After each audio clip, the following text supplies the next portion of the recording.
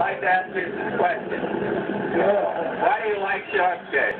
Oh, because there's more to see. More to see, eh? What, uh, what good does that do you?